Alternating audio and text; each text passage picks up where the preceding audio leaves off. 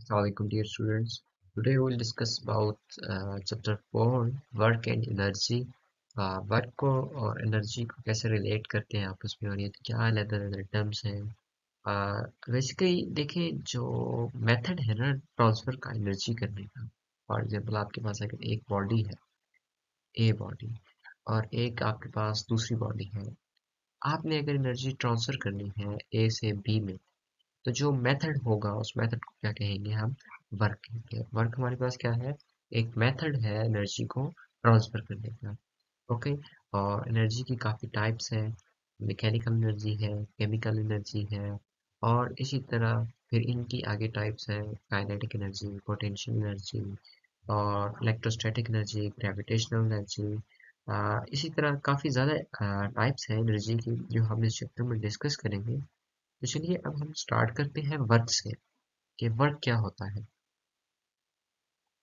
Work is done work is done अच्छा work कब होता है? आ, एक चीज़ आप याद रख लेंगे जो ये वर्क है ये फिजिक्स में वर्क का मीनिंग और है। जो आप काम करते हैं आप पढ़ते हैं ये वर्क और है। आ, इसको मैं डिफ्रेंशिएट करूँगा। देखिए आप भी कुछ एग्जांपल्स में आप बताऊँगा आप खुद ही समझ जाएँगे कि जो फिजिक्स में वर्क की टर्म है और जो हम वर्क करते हैं इन दोनों में डिफरेंस क्या है? Work is done only if an object only if an object कोई भी बॉडी है uh, अगर uh, वो मूव करती है an object move through some displacement move move through some displacement okay uh, through some displacement students अगर कोई body हमारे पास है और वो कुछ डिस्प्लेसमेंट uh, कवर करती है और अब शर्त क्या आ रही है कि डिस्प्लेसमेंट उसने कवर कैसे करनी है while a force applied to it while force applied to it अगर आ, कोई बॉडी है उस पर फोर्स लग रही है और वो थोड़ी बहुत डिस्प्लेसमेंट कवर करती है तो वो हमारे पास क्या होगा? हमारे पास वर्क होगा। चलिए एक एग्जांपल देखते हैं उसके बाद मैं आपको बताता हूँ। एक ब्लॉक है ठीक है स्टूडेंट्स एक ब्लॉक है और आपने इसको क्या किया है? आपने इसको एक रोप के साथ बाँध लिया और यहाँ पे एक बंदा है ठीक है? फ़र्ज़ आप है और आप इसको खींच रहे हैं कहाँ पे? आप इस डायरेक्शन में। आप फोर्स किस डायरेक्शन में लगा रहे हैं? आप फोर्स इस डायरेक्शन में लगा रहे हैं राइट साइड पे। और ये जो बॉडी है आ, ए बॉडी में इसको कहता हूँ और ये बॉडी डिस्प्लेस किस तरफ़ होगी? ये बॉडी डिस्प्लेस भी इस तरफ़ होगी। तो इसका क्या मतलब हुआ कि जब हम किसी बॉडी पे फोर्स लगाते हैं और वो बॉडी जब डिस्प्लेस होती है तो हमारे पास क्या हो जाता है? हमारे पास वर्क डन होता है। ओके? मैथमेटिकली वर्क को देखते हैं। मैथमेटिकली। अच्छा स्टूडेंट्स वर्क की एक और डेफिनेशन भी है। वर्क हमारे पास डॉट प्रोडक्ट है। इसका dot product of force and displacement. Dot product of, dot product of force and displacement और किसका? डिस्प्लेसमेंट का।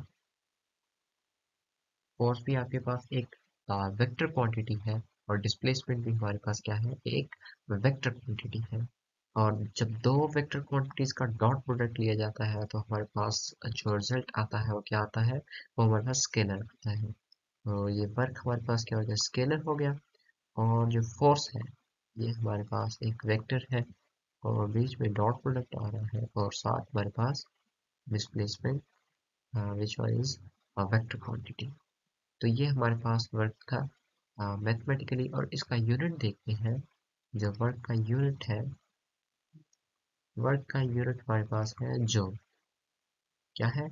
जो ये ऐसा यूनिट है और इसका uh, जो लिखते हैं इसको वो कैसे लिखते हैं?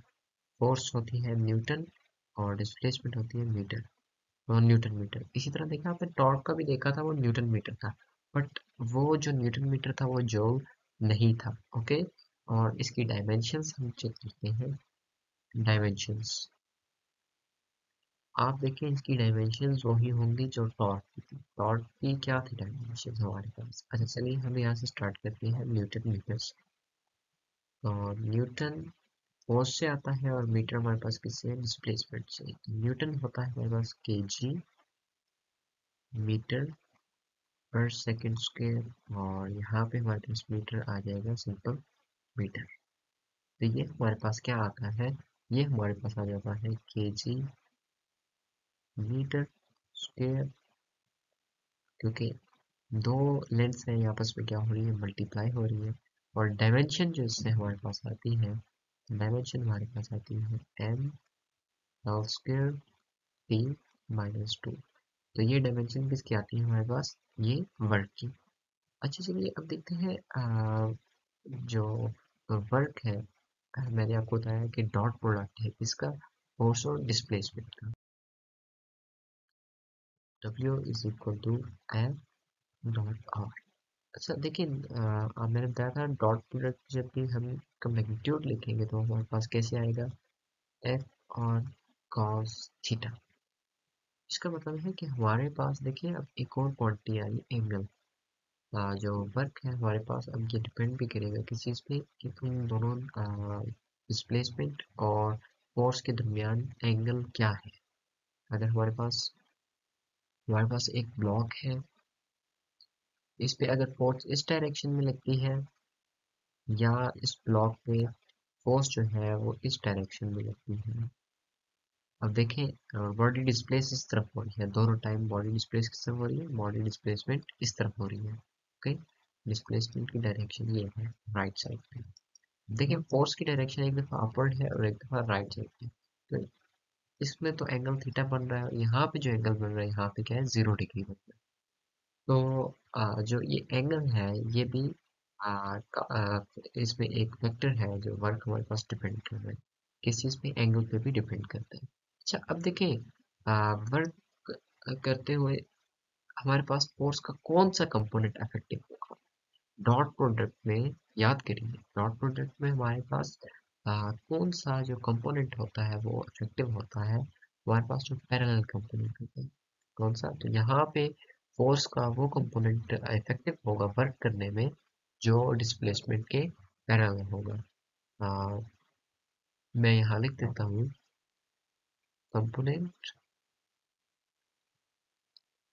component of force which is which is parallel to and parallel to direction of displacement parallel to of displacement. जो डिस्प्लेसमेंट डायरेक्शन में होगा, वो ही क्या करेगा? वो हमारे पास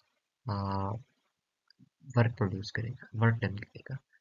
ओके जो दूसरा होगा हमारे पास पार्ट अब देखें, ये ही, इसी केस को मैं लेता हूँ। यहाँ पे फोर्स के दो कंपोनेंट्स बनेंगे एक ये एफ़ साइन थीटा एक हमारे पास क्या बनेगा? एफ़ कॉस थीटा और ये कौन सा बनेगा? एफ़ साइन थीटा देखिए ये परपेंडिकुलर है। डायरेक्शन जो है आ, आपके पास डिस्प्लेसमेंट की वो ये वाली है इस डायरेक्शन ठीक है स्टूडेंट्स तो जो हमारे पास इसके पैरेलल कौन सा है? एफ़ कॉस थीटा तो ये हमारे पास क्या होगा? ये इफ़ेक्टिव होगा।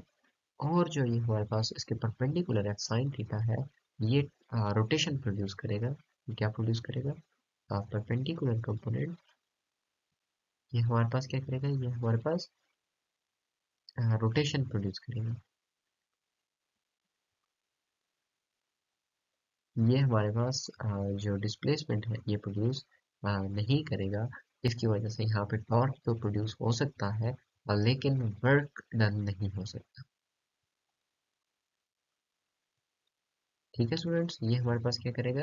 ये हमारे पास रोटेशन प्रोड्यूस करेगा। अब देखें आपके सामने जो फिगर बनी हुई है, इसमें आप देख सकते हैं कि आप, ये जो हमारे पास फोर्स है, आपने इसको ऊपर उठाया हुआ है और इसका जो वेट है, वो देखें वेट इसका डाउनवर्ड एक्ट करेगा। ठीक है स्टूडेंट्स वेट इसका क्या है? डाउनवर्ड है और जो आप इसको लेके जा रहे हैं तो इसकी डिस्प्लेसमेंट की डायरेक्शन राइट साइड तो इन दोनों में जो एंगल बन रहा है, वो 90 डिग्री रहा है आप इस ब्लॉक पर जो वर्क है, वो क्या है? ज़ीरो वर्क कर रहे हैं। कैसे? देखें आपके दरमियान एफ़ आर आई कॉस थीटा जो आपके पास थीटा है, वो यहाँ पे क्या है? 90 डिग्री तो कॉस 90 क्या होता है? ज़ीरो कॉस 90 ज़ीरो होता है तो हमारे पास वर्क भी क्या होगा? ज़ीरो होगा। लेकिन आपने बेशक ही दस घंटे से उठा के आप इसको चलते जा रहे हैं। लेकिन जो आप वर्क करेंगे इस पर वो वर्क ज़ीरो होगा। Okay students thank you very much अल्लाह हाफिज़